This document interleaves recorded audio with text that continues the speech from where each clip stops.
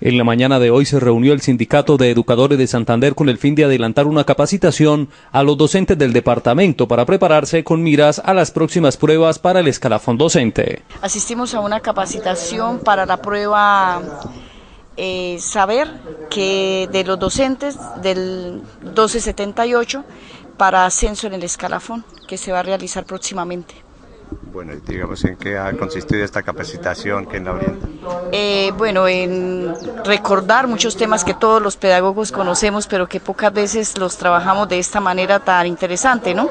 Tenemos un instructor eh, genial que tiene una habilidad para capturar la atención de, del auditorio.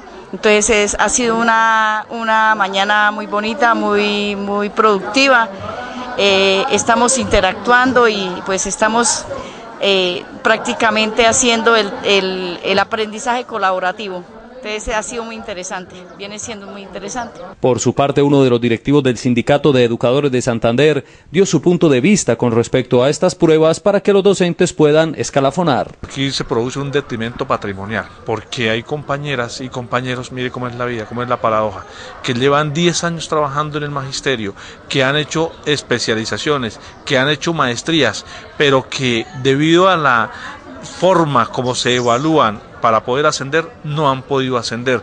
Y entonces una maestría no se baja hoy de 20 millones de pesos en lo económico si lo pagáramos eh, de manera anticipada y el tiempo que se requiere para la capacitación, para la, para la especialización, para el trabajo académico, y entonces usted va perdiendo muchos años la inversión económica del tiempo y no asciende. Se produce directo, un directo detrimento patrimonial para los bolsillos de los maestros. En esta reunión estuvieron presentes docentes de varios municipios del departamento.